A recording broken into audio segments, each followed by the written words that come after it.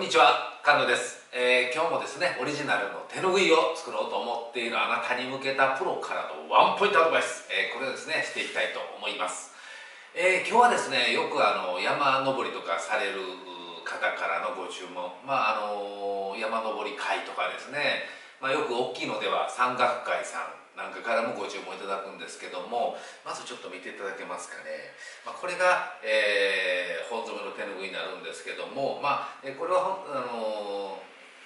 なんですかその山岳会さんからご注文いただいたものではないんですけどもあの、まあ、こういった本染めのものっていうのをご依頼いただくことが多いですね。というのもあのやっぱり山登りですのでやっぱり汗をかきます。でそういった時にですねあのやっぱ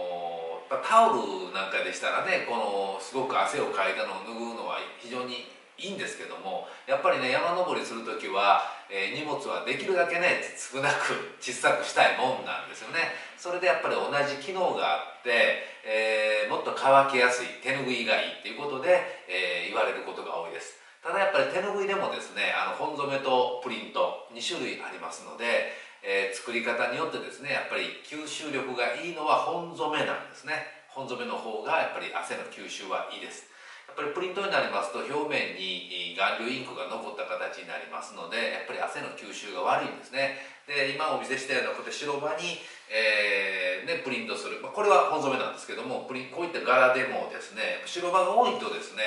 えープリントでもそんなに違和感ないんですけどもやっぱり全体に色をつけたりしますとやっぱり違和感が出てきます。ですからこの辺りですねやっぱりあのその用途に応じたですね、えーご提案をせないかんのですけども我々の場合はですねプリントでも本染めでも作れるような、えー後ろで協力工場たくさんありますので、えーその辺りどちらでもですねその用途に応じて、えご相談に応じることができます。ですから、まあ、お作りになる場合ですね、まあ、単価の予算的なこともあります。